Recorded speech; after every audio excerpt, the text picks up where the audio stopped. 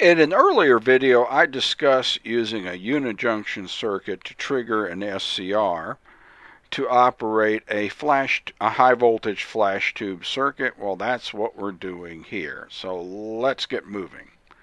This is a high voltage flash tube control circuit.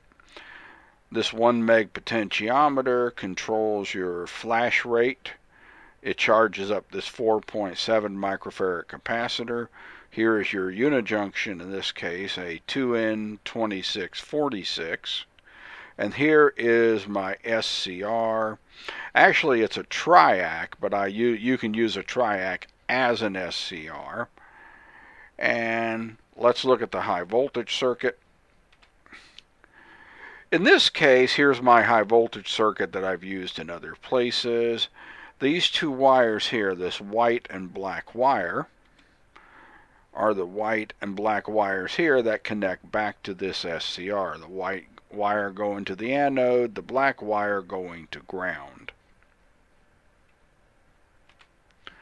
Alright, this uh, 12 volt battery through this high voltage generator circuit that's also covered in a separate video and page. It's all linked on the same page on how to do this.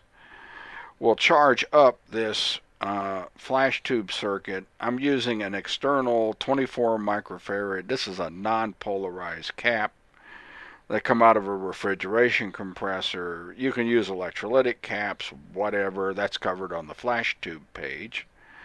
And when I get a firing pulse from the unijunction to the SCR, I will get a flash from the uh, tube. You will see that at the end of these three schematics I'm going to quickly go over.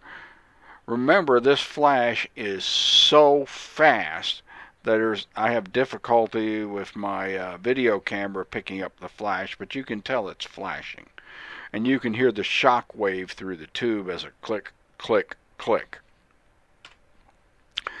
Basically, without the SCR unijunction circuit, you have this. This generates this is a self-sustaining two transistor oscillator circuit connected to that 12 volt battery. I use a the case of that particular board, I had a 9 volt center tap transformer. You can use a 6.3 to 120. Um, rectified, filtered basically. This will produce about 330 volts on the anode of the xenon flash tube and here is the 24 microfarad capacitor across the flash tube. In this particular setup, this tube came with its own trigger transformer. I salvaged those out of something else. Press the switch, I get a flash. I'm going to replace the switch with an SCR. Same circuit again, I've replaced the switch with an SCR. The SCR anode goes back to the transformer and the cathode goes to ground. This is the gate impulse from the unijunction circuit. Here is the unijunction transistor trigger circuit. It is wired up exactly as you see here. I tested it from 5 volts to 20 volts. It works at any of those voltages. The voltage change might change the flash rate just a little, but that's adjustable through the 1 meg capacitor, what happens here? This, this point zero two two capacitor is charged up through this 100k resistor to 330 volts. You turn on the SCR, the capacitor discharges through the transformer primary and the SCR and creates a, a voltage spike of several thousand volts on the on the uh, xenon flash tube, this ionizes the gas enough that this capacitor will discharge through the tube, creating a bright flash. Alright, we'll go on and look at the live video, and that should conclude this very brief introduction to this circuit. Look in the description.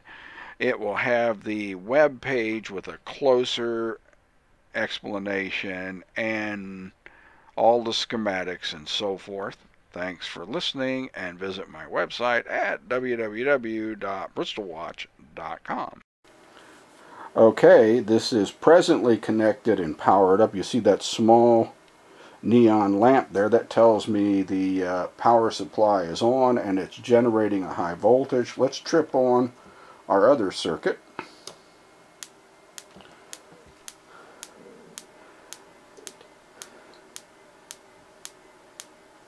Alright, and I can control the speed of the flash by adjusting a potentiometer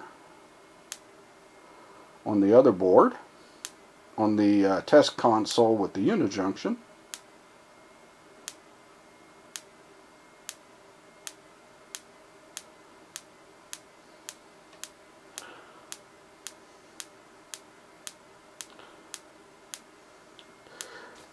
Let's look at the, uh, let's cut it off.